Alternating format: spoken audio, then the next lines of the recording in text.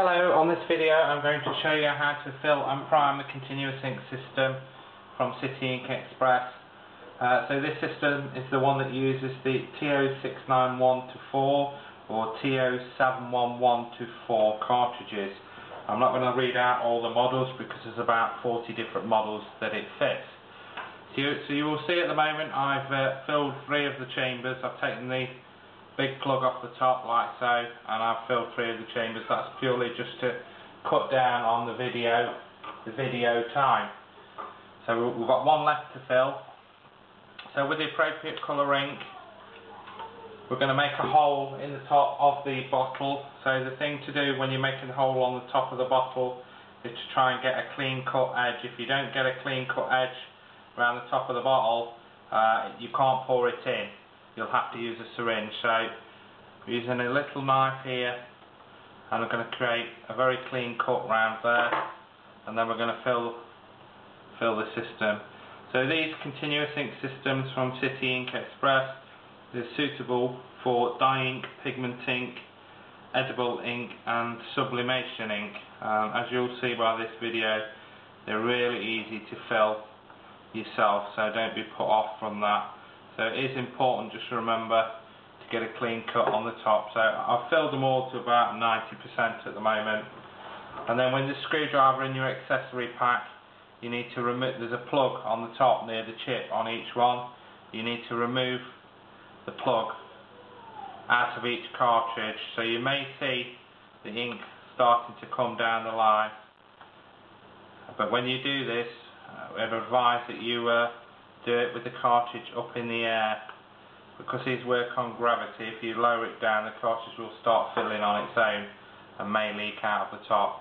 So with the syringe we're going to put it into the hole put it in very firmly and then just draw back on the syringe and you'll see the ink shoot down the line and it will start to fill the cartridge. As soon as you get a tiny drop of ink in the syringe then the in the syringe then the cartridge is full and you can take it out. So just pull back and hold back uh, and after about 15-20 seconds it should start to there we are. So it's just come through. I'm going to let go and I'm going to stop. So I'm going to put the plug in straight away because if you don't put it in straight away it will eventually just pour out over the top. So move to the next colour. So the key is to push it down firmly into that hole. If you don't get an airtight seal you'll be drawing back and, and, you'll be there all day. Basically the cartridge won't fill itself.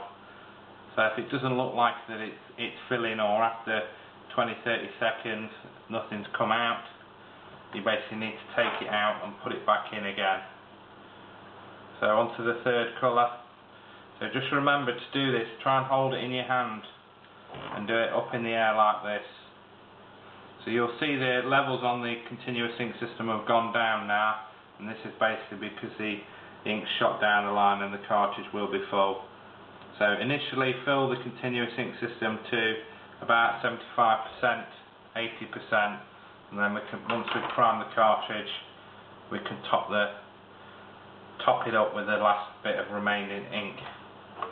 So on the last colour, so you should be able to see this now filling on the video here you can see the ink slowly filling the cartridge and it'll get to the top. And then as soon as you see a little bit in your syringe, you stop, let go, let go of the plunger. There we are, it's just come through and I'm going to stop. So basically now at the moment I've completely primed the system. Cartridges are full of ink uh, and there's no air bubbles at all in the line. So the last thing to do is, with the excess ink that you've got left, in your bottles, just top that up, pour it straight into the top.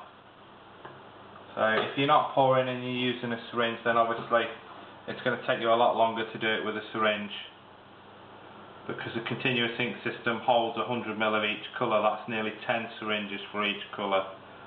So just to save time, do try and get a clean cut around the top of the bottle. You get a, get a clean cut, you'll be able to pour it in like this. So those holes on top where I'm pouring it in, this is they are your refill holes as well. So when you need to top the continuous ink system up, basically you just remove that large plug and then top top it up.